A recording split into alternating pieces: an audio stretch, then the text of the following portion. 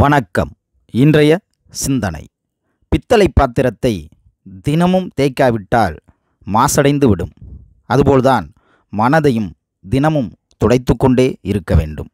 நல்ல புத்தகங்களை படிக்க படிக்க மன அழுக்கு நீங்கிவிடும். கண்டது கற்க பண்டிதனாவான் என்கிறது ஒரு பழமொழி.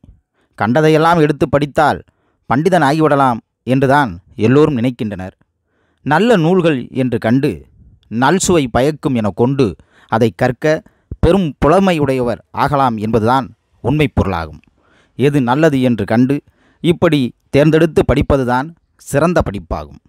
எகிப்து நாட்டு மன்னர் பாரோ தான் நேசித்து வாசித்த புத்தகங்களின் இருப்பிடத்தை மன மருத்துவ நிலையம் என்று பெயரிட்டு மகிழ்ந்தாராம். நல்ல புத்தகங்கள் நல்ல கனவுகளை வளர்க்கும் நல்ல கனவுகள் நல்ல எண்ணங்களை உண்டாக்கும் நல்ல எண்ணங்கள் நல்ல செயல்களை உருவாக்கும்.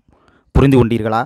நல்ல புத்தகங்களை வாசிப்பதும் நேசிப்பதும் தான் மனசை வெளுக்கிற மந்திரம் என்று.